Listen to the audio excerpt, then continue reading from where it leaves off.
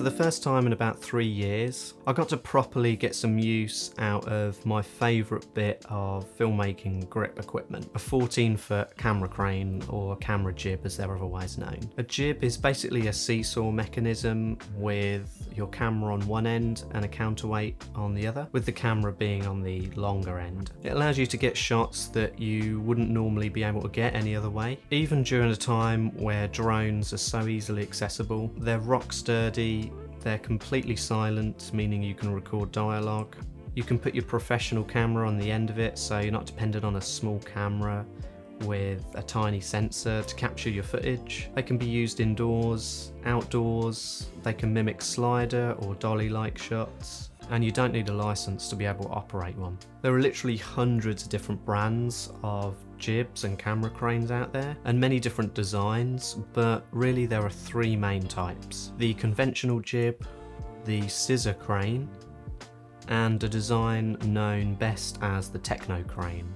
The scissor crane uses a scissor mechanism to be able to extend and contract the crane. The benefit of this crane compared to the conventional jib is that you can achieve an extra dimension of movement. The benefit of this over a techno crane is that it's completely mechanical uh, meaning that there's no electronics. The operator controls the extension of the arm by either moving it forwards or backwards. The downside though is that the scissor mechanism causes the crane to be quite unstable. There's quite a bit of wobble and generally speaking it's not as sturdy as a conventional jib. The Techno Crane or designs like the Techno Crane are able to telescope in and out with precision and smoothness. This is the most versatile and widely used crane out there out of the three on high budget productions, and the price reflects that.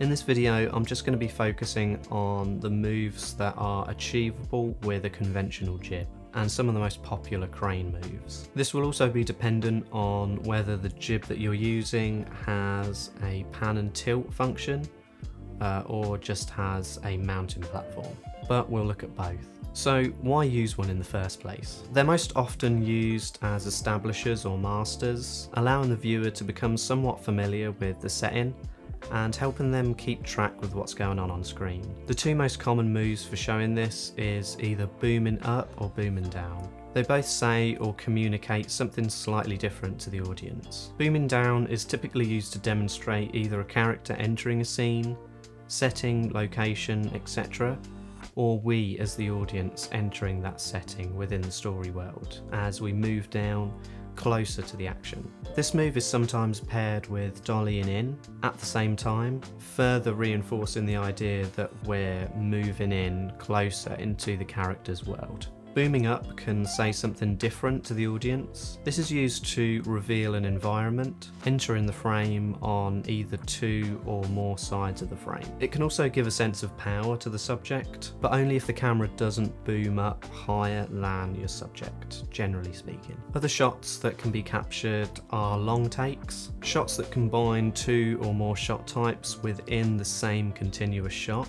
So what's the incentive of using a camera crane when getting a wide shot on a tripod is so much easier and a fraction of the effort. The introduction to an alternative angle that's not familiar to the point of view of a person and camera movement allows you to say so much more to the audience. Just like people associate 24 frames per second and a 180 degree shutter with the overused term the cinematic look, it's also associated that the camera crane shot gives a sense of high production value among films. The list of modern films released within the last 30 years that that don't feature any crane-like shots or movements is very short. What's your favourite crane shot from a movie? Let me know in the comments. Don't forget to like the video, subscribe if you haven't done already, and click the bell icon to stay updated with all of my future uploads. Thanks for watching, and I'll see you in the next one.